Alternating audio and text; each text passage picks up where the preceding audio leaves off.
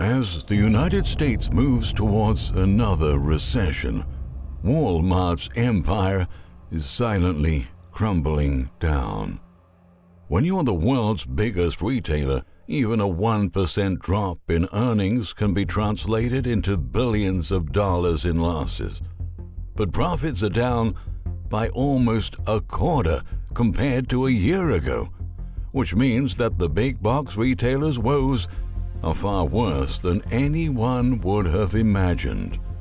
For decades, Walmart was the company competitors feared most, but new numbers show that the retailer has been falling behind in recent years.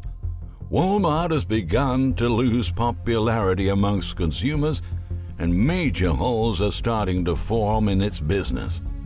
For the most part, the company has hidden its financial struggles from the headlines because the problems it faces are different across the world, which allows the superstore chain to mask itself in the overall picture.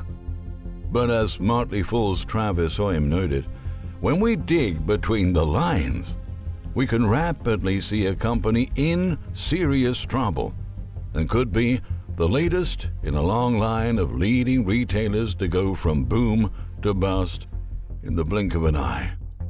That's why in today's video, we have compiled a series of numbers, facts, and stats that prove that Walmart's best days are behind it. Before checking this list, please support us with a thumbs up in this video and don't forget to subscribe to our channel. Without further ado, here are 20 signs Walmart is falling apart before our eyes. 1. The world's biggest retailer, which is the country's largest grocer, recently shared an ominous sales outlook for the final quarter of 2022 in a September 29th announcement. Walmart said it is bracing for a sizable decline in its profit margins as the rising cost of everyday necessities eat up more of household budgets and leave shoppers with less money to spend on items they want, such as new clothing.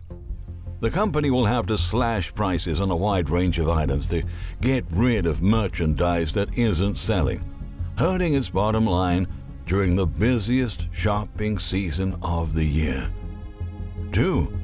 Walmart also announced that it expects adjusted earnings per share to fall 9% in this quarter and between 13% compared to the same time a year ago, further highlighting its latest financial troubles. 3. After the announcement, the market reacted accordingly sending Walmart shares down by 8% in a single day. And even though it managed to climb back up in the past few days, it remains near the lows of a consolidation pattern. 4. Right now, Walmart stock is still below its 50 day moving average, which indicates it's still struggling. It also remains mired beneath the longer term 200 day moving average. 5. Its recent poor performance in the market wasn't the worst downturn it has experienced this year. In fact, in May, shares of the superstore chain suffered their steepest one day decline ever, falling 11.7% in a single day. After it released its first earnings report, it became clear that its first quarter was exceptionally weak Investors expected the retailer to report a $1.48 per share profit, but Walmart instead reported a $1.30 per share. 6. According to GAAP data, the retail giant reported a 24% year over year decline in profit per diluted share. Needless to say, investors are not happy. 7. The news gets worse. Profits, it turns out, are the least of Walmart's problems. The retailer didn't generate any cash from operations at all this past quarter, instead consuming $3.8 billion. Add in $3.5 billion in capital spending, and Walmart's free cash flow for quarter three was a dishearteningly negative $7.3 billion and the company hadn't experienced negative cash from operations since quarter 3 1995. That's more than a quarter century ago, according to historical data provided by S&P Global Market Intelligence. 8. And more financial losses may be coming for Walmart. The IBD stock checkup shows that earnings have actually fallen by an average of 4.5% over the past three quarters. This is well short of the 25% growth sought by investors. Over the past three years, the retail chain's monthly sales have grown by an average of 10%. That's why its projected 4% sales growth for the final quarter of 2022 seems so unimpressive. In other words, investors are seeing Walmart stock as a no buy right now. 9. Last month, during a post earnings conference call, executives noted that the company is facing a lack of cash flow, and that was primarily caused because it heavily spent to build inventory in the first two quarters of the year, and the cost of its inventory was further elevated due to inflation. The big issue was the fact that the more expensive items it purchased this year are simply not selling at the pace the company expected, and now they have a massive inventory glut. That's why Walmart has been canceling a huge number of orders in recent months. John David Rainey, the company's EVP and CFO, said that the retailer was reducing exposure in electronics, home, and sporting goods and canceled billions of dollars in orders to realign inventories. 10. The retail titan knows how much its low prices are important to its customers, but still, the company just issued an alarming warning for customers everywhere. On the food side, we're seeing double digit inflation, and I'm concerned that that inflation may continue to increase. CEO Doug McMillon said. Walmart's grocery prices already rose 21% between July 2019 and July 2022. No wonder why consumers are shopping less at the superstore chain. 11. In fact, over the past couple of years, Walmart has been losing price wars with its other competitors. For the longest time, price wars used to be the big box retailers' game. The company was so good at this it had a reputation for driving mom and pop stores out of business. At its peak, it was the undisputed leader in low prices. However, today, the battle is not so easy. The income statement of Walmart is full of real estate related expenses for its big box stores. On the other hand, e commerce retailers don't have to deal with those expenses since they run their entire business from the virtual world. Walmart is steadily losing its edge as far as lower pricing is concerned, and that is one of the things that used to define the company. 12. Goldman Sachs analysts highlight that Walmart supercenters are particularly struggling as consumers increasingly choose convenience stores over one stop shops. The retail giant's mega stores suffered a 3% same store sales decline in the third quarter compared with last year. During the same period, foot traffic for Walmart's U.S. stores fell by 2.1%. I think convenience is where the consumers have been looking, especially if you look at the baby boomers, CFO Charles Holley said. U.S. consumers appear more focused on some combination of value and convenience. Goldman Sachs analysts wrote in a recent research note predicting the slow decline of big box retailers like Walmart and Target. 13. One thing many people don't know is the fact that Walmart is the largest employer in the United States. But even as we approach the all important holiday season, the retailer is cooling off on recruiting.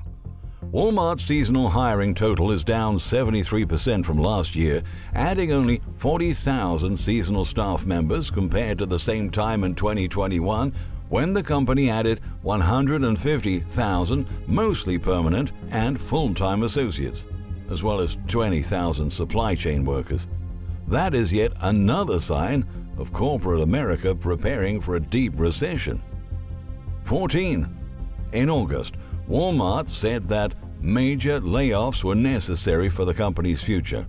In a single month, it reportedly laid off approximately 200 of its corporate employees amid growing concerns over inflation and sagging customer spending.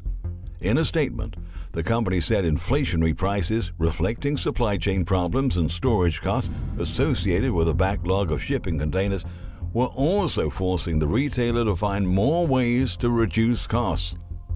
15. Truth be told, Walmart's supply chain is a mess.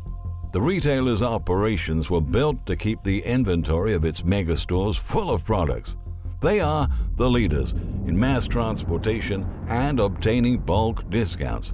But when it comes to schedule reliability and on time deliveries, the company disappoints.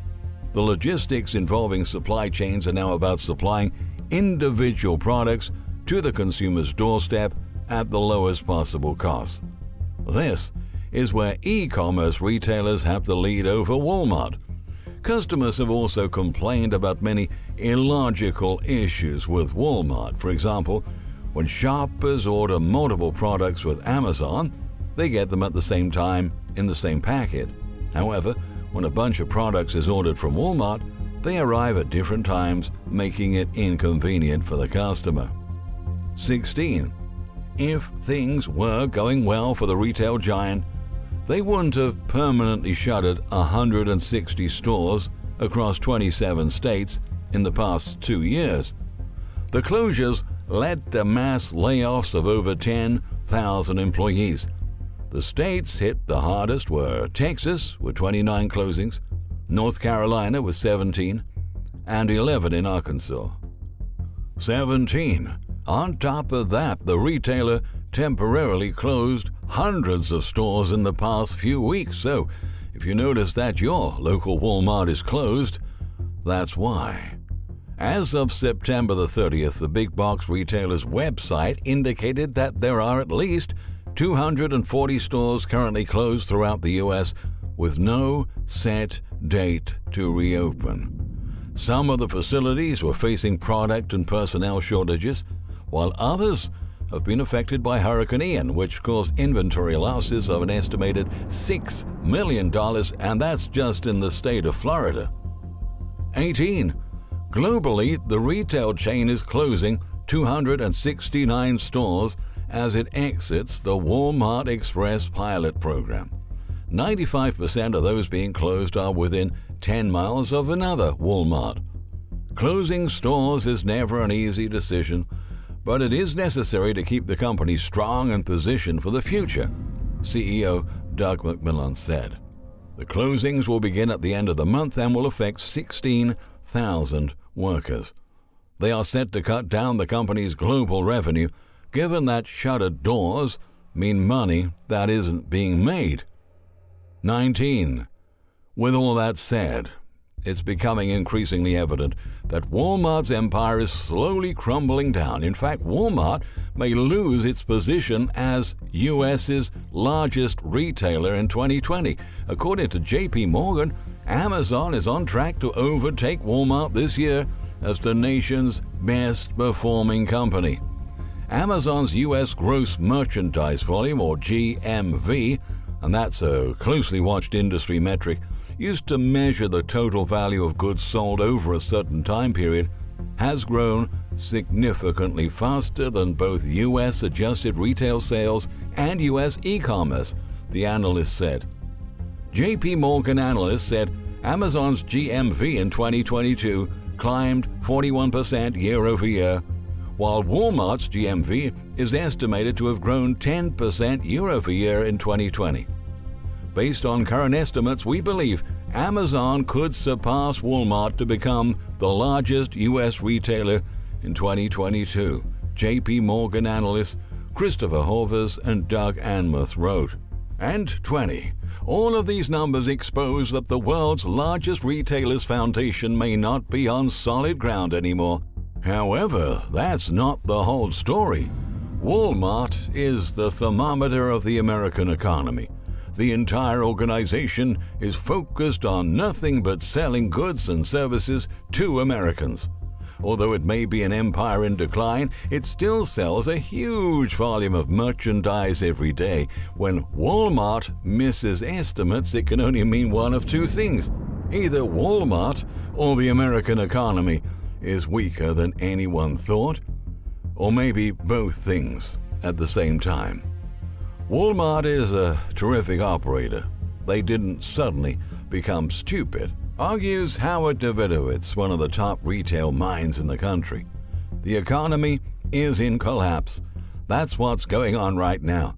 Either the best merchants in America forgot how to sell, Americans stopped consuming, or the economy is turning south, not getting better. Davidowitz outlines, noting that, unfortunately, as we enter another recession, there's nothing the government or industry executives can do about it. We've spent all the money, we've borrowed all the money, and we're in the tank, the expert added. Simply put, as the U.S. consumer goes broke, so does the biggest retail business in the entire market. Walmart's traditional business model is showing persistent signs of weakness both in the US and overseas.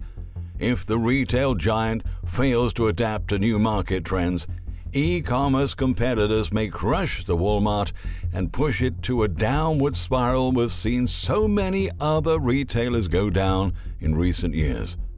Will the biggest retailer in the scene be a victim of the relentless retail apocalypse? That is yet to be seen, but the outlook certainly is not promising right now, and the last earnings report was a train wreck that resulted in major losses right after the retail chain experienced a pretty bad losing streak. At the end of the day, the company's demise is a mere reflection of a collapsing economy, and what we've seen so far is just the beginning of a series of defeats that lie ahead for Walmart, American consumers, and our entire economy. Thank you for watching. We look forward to your comments under this video and please subscribe to our channel.